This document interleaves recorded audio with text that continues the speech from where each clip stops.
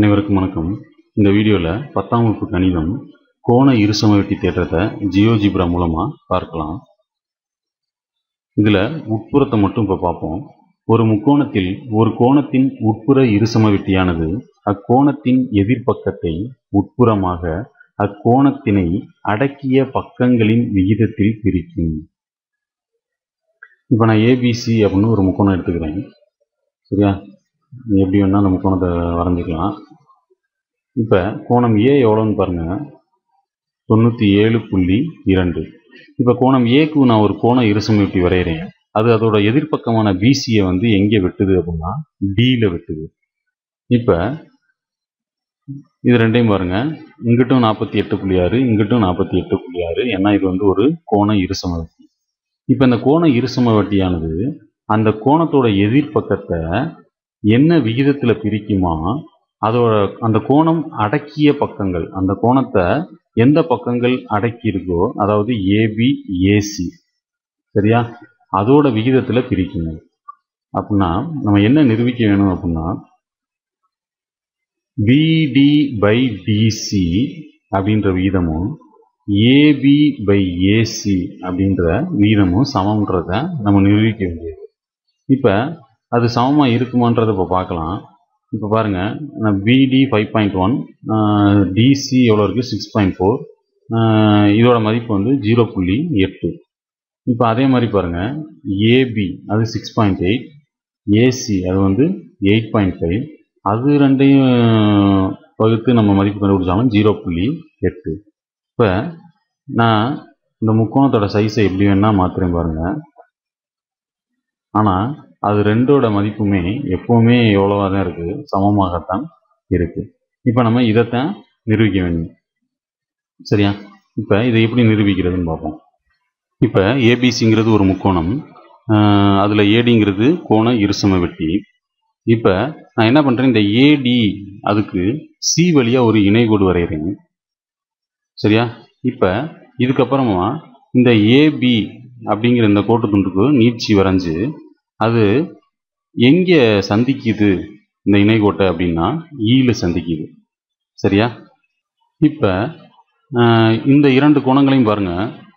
இதுவும் ஐம்பத்தி ரெண்டு புள்ளி மூன்று மூன்று இதுவும் ஐம்பத்தி இரண்டு புள்ளி மூன்று மூன்று. ஏன் இது ரெண்டு சமயமாக இருக்குது அப்படின்னா நம்ம ஏற்கனவே சென்ற ஆண்டில் பார்த்துருக்கோம். இரண்டு இணைகோடுகளுக்கு ஒரு குறுக்குவெட்டி வரைஞ்சோம்னா அதோட ஒன்று விட்ட உட்கோணங்கள் சமமாக இருக்கும். இப்போ ஏடியும் சிஇயும் இணைகோடுகள் இதுக்கு ஏசிங்கிறது ஒரு குறுக்கு வெட்டி. அப்போ இது ரெண்டும் ஒன்று விட்ட உட்கோணங்கள். அதனால கோணம் டிஏசியும் கோணம் ஏசியும் சமமாக இருக்கும் ஏன் அப்படின்னா இது ரெண்டும் ஒன்று விட்ட உட்கோணங்கள். இதுக்கப்புறமா பாருங்க. இப்போ இங்கே ரெட் கலரில் இருக்கு இல்லையா? இது ரெண்டும் சமம். ஏன்னா இதுவும் பாருங்க ஐம்பத்தி ரெண்டு புள்ளி மூன்று மூன்று இதுவும் ஐம்பத்தி ரெண்டு புள்ளி மூன்று மூன்று.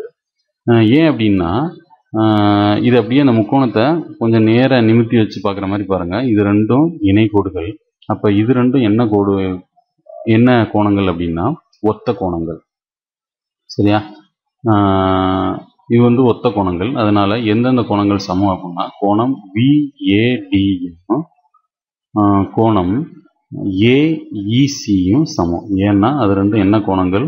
ஒத்த கோணங்கள். அடுத்ததாக இப்போ பாருங்க. இந்த இந்த ரெண்டு கோணங்களுமே சமமாக இருக்குது எதாவது கோணம் பிஏடியும் கோணம் ஏடிசியும் சமம். ஏன் சமம் அப்படின்னா இது ஒரு கோண இருசம வெட்டி அப்போ இது ரெண்டையும் அது வந்து என்னவா பிரிக்குது அப்படின்னா சரி சமமாக பிரிக்குது. சரியா? அப்போ இந்த மூன்று சமன்பாடுகளை வச்சு பாருங்க. இந்த பிஏடியும் டிஏசியும் இடது பக்கம் ரெண்டு சமம்னு இப்போ நம்ம சொல்லிட்டோம். அதனால கண்டிப்பாக எது ரெண்டு சமமாக தான் இருக்கணும் அப்படின்னா வலது பக்கம் ரெண்டு கோணங்களும் சமமாக தான் இருக்கணும். அதனால இந்த மேற்கொண்ட மூன்று சமன்பாடுகள் மூலமாக நம்ம என்ன கொண்டு வரோம் அப்படின்னா கோணம் ஏசிஇயும் கோணம் ஏஇசியும் சமம். அதாவது இதுவும் இதுவும் சமம் இதுவும் இதுவும் சமம். சரியா? அப்போ இது ரெண்டும் சமம் அப்படின்னா இது ரெண்டும் கண்டிப்பாக என்னவாக தான் இருக்கணும் அப்படின்னா சமமாகத்தான் இருக்கணும். சரி.